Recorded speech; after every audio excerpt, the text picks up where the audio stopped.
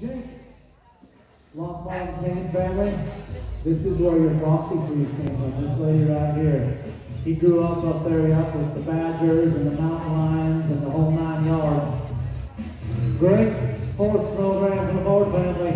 Una 55, let's get rolling somewhere right now. Got him on number one, look out. Now to the number two, here's another lady. Her confidence and her riding has just, I mean, been on point. Now to number three. Get out of here, Una, all the way back up